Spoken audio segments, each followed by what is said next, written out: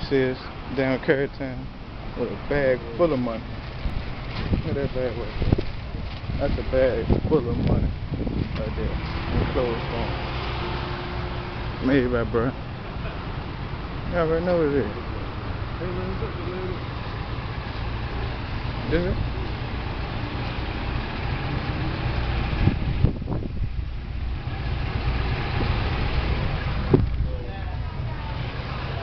How are you guys doing?